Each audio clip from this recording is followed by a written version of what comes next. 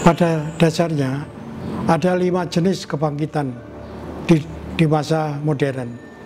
Yang pertama adalah kebangkitan di bidang pemikiran yang dimulai oleh Syekh Waliullah di India yang kemudian menimbulkan pengikut-pengikut seperti Ahmad Khan, Muhammad Iqbal, Sayyid Amir Ali, dan sebagainya.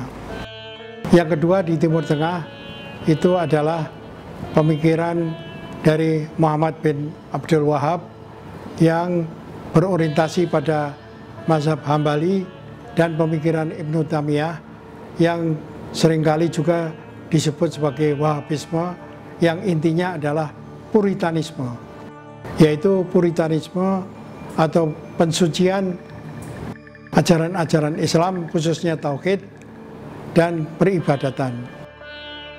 Yang kedua adalah gagasan kebangkitan dengan gerakan tarbiyah atau pendidikan yang dimulai dengan mendirikan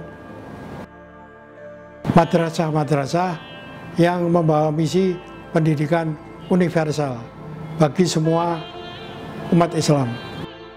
Yang ketiga adalah gagasan siasah atau gerakan siasah atau gerakan politik yaitu dengan menggerakkan kekuatan-kekuatan masyarakat untuk terutama menentang imperialisme barat dan menegakkan kedaulatan Islam.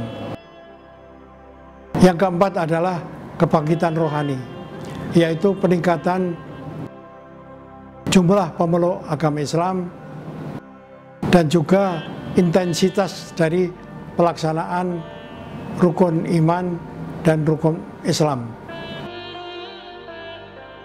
Dan yang kelima adalah kebangkitan ekonomi atau gerakan ekonomi.